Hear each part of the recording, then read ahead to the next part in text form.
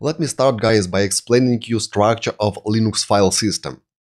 Linux files and directories are located in a tree-like structure. At the root there is a root directory that is represented simply by forward slash. Then this root uh, directory has some subdirectories like bin, sbin, etc and so on. Those subdirectories may have own subdirectories and also files. It means that every directory could be considered uh, as a branch of this tree, and every file is a leaf.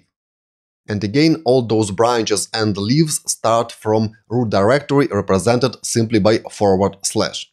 When any user logs into Linux system, he or she actually logs into own home directory.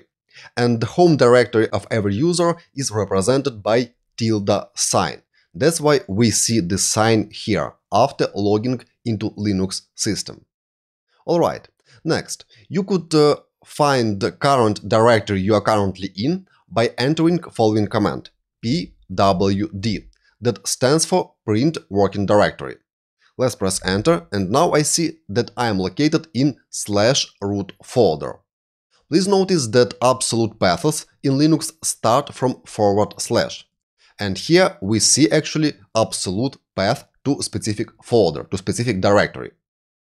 If I go to other Ubuntu virtual machine and type pwd here, I'll see that the home folder for this Bogdan user is different here. And it is slash home slash Bogdan. And this path differs from this path.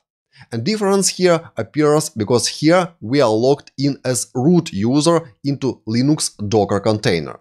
And in this case, I'm logged in as regular user. And home folders for all regular users are located in the home folder located in the root directory. Alright, next command.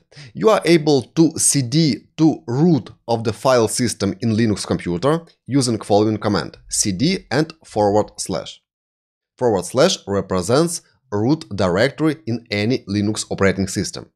Let's cd to root directory and notice that the command prompt here was changed and now I see forward slash instead of tilde sign. And if I type pwd here now, I'll see that now I'm located in root directory. You could always go back to your home directory for your logged-in user by entering simply cd, like this. And now I'm back into home directory and if I type pwd, I see path to my home directory for this root user. It is simply slash root. Alright, that's how you could uh, change directory and move either to home folder or to root folder. Next, let me demonstrate you how you could move into specific folder. For example, if I list the files and folders here in home folder for this root user, I will see actually empty list. And that means that there are no files and folders inside of the home directory for this user. And if I go to root folder like so and list files and folders here, I'll see such folders as etc, home, media and so on. If you want to go into specific folder, for example, let's go into run folder. You could type cd and type either relative path or absolute path. If you are already located in specific folder, you could use relative path. And in this case, I could simply type run, like so. And now I'm inside of the run folder. And if I enter pwd now, I'll see that now I'm inside of the slash run folder. And this path that starts with forward slash is absolute path. And you are always able to go into specific folder using absolute path to this folder. Let me show you that. For example, let's list folders here and let's cd into mount folder like so.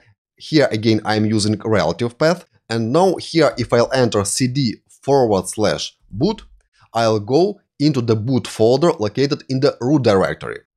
Enter and now I'm inside of the boot folder. That's because I have just used absolute path. Alright, that's how you could move into specific folder using either relative path or absolute path.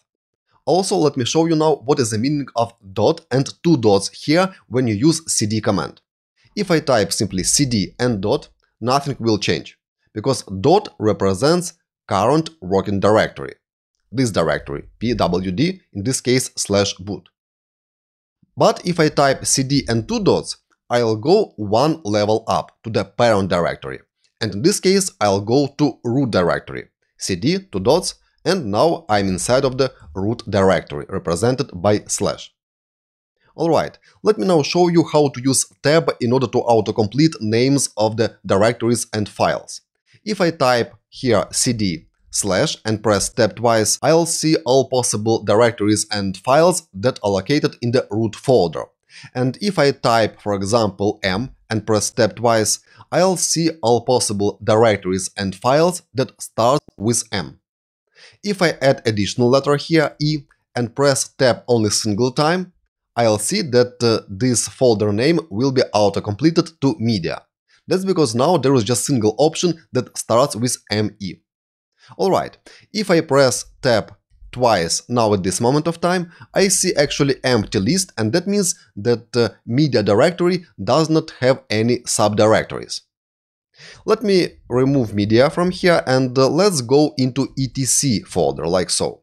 And if I press tab now twice, I see all possible options uh, of file names and directories that uh, I could use after etc. And for example, here I see skel folder and if I type here ske and press tab, I'll see that the directory name will be auto-completed to skel. If I press tab uh, now here, I see that uh, there are only files called uh, .bash logout, .bash rc and .profile, and there are no subdirectories inside of the skel directory.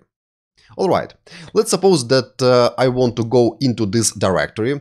For this I'll remove this last dot that was auto-completed and press enter here. And now I am inside of the etc skel directory. Let me clear terminal and if I enter pwd, I'll see this absolute path that starts always with forward slash.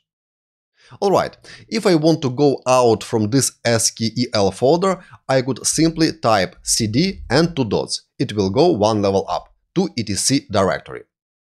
Let me go back to skel, cd, skel. Here I could use relative path because I'm already located in etc directory and press enter here. And let's suppose that I want now to go to another subdirectory of etc directory.